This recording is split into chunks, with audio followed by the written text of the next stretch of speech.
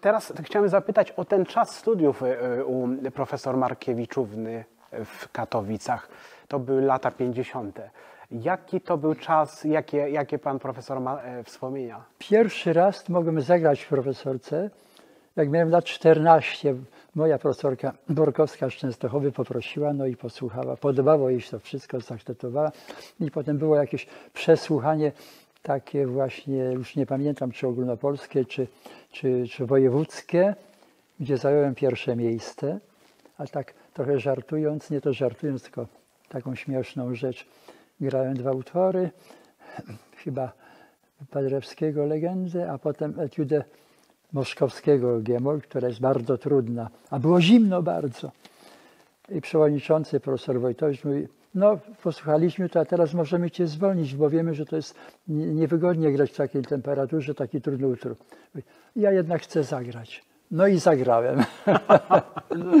Natomiast a propos tego właśnie, tego zimna, to jeszcze taki przypadek trochę gorszy. Konkurs szypenowski, do którego się już też przygotowywałem, prawda? Profesorka chętnie to ze mną robiła. Były eliminacje, przyszedłem eliminacje i potem były ostateczne eliminacje w Warszawie, do których doszedłem. No i przed występem tam czy jadłem jakieś ciastko, jakiś krem, miałem tłuste ręce, miałem, jak tu grać takimi rękami? Nie pomaga, nie pomaga wycieranie w chusteczkę. No to muszę um, umyć w wodzie. Idę do łazienek, nie ma wody nigdzie. Wtedy było tak, że wodę zakręcali. W całym budynku nie było wody. Co tu zrobić? No to umyję w śniegu, gram dopiero za trzy kwadranse, to, to mam czas.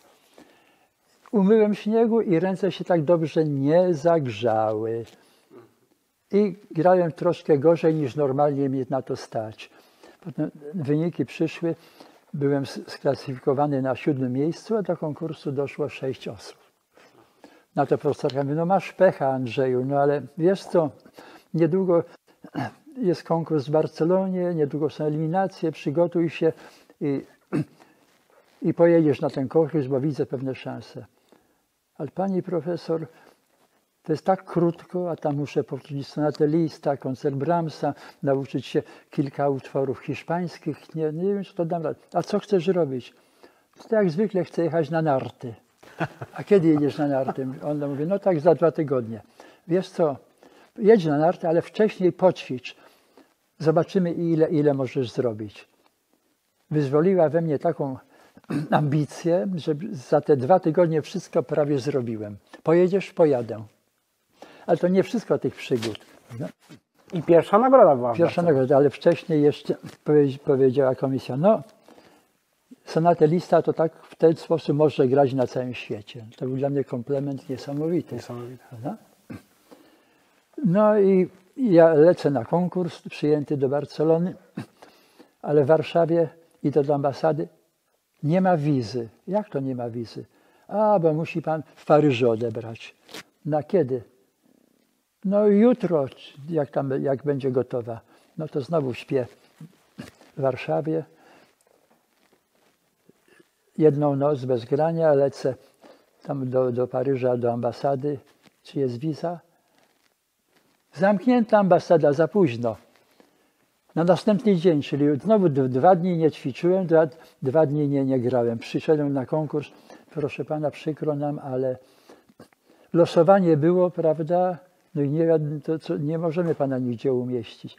Mówię, proszę pani, proszę dyrektora zapytać, że wyjątkowo dla mnie, żeby zrobił jakieś miejsce, bo spóźniłem się nie z własnej winy. A to dla mnie bardzo ważne. Bądź zgodziła się. No to będzie pan grał jako ostatni. Przyszedłem do sala, piękna sala koncertowa, za salą. Uczestnicy, ty, a dlaczego się tak ładnie ubrał? No bo idę grać na konkursie. Nie potrzeba. Jak to nie potrzeba? Kotara nie widzi się komisja. Nikt cię nie widzi, prawda? Wychodzi tu jeszcze troszeczkę lekko fortepian nachylony. I znowu mi się nie bardzo dobrze grało, bo zaczynałem od etiudy rewolucyjnej. No to etuda rewolucyjna i sonatalista. No proszę, proszę. No, zagrałem wszystko prawie dobrze, ale się potknąłem trochę w sonacie, coś powtórzyłem, coś tam. No to teraz już jest po ptokach, jak się mówi po śląsku. Są wyniki, patrzę, jestem na trzecim miejscu. Oj, to teraz dopiero poćwiczę, to będzie coraz lepiej.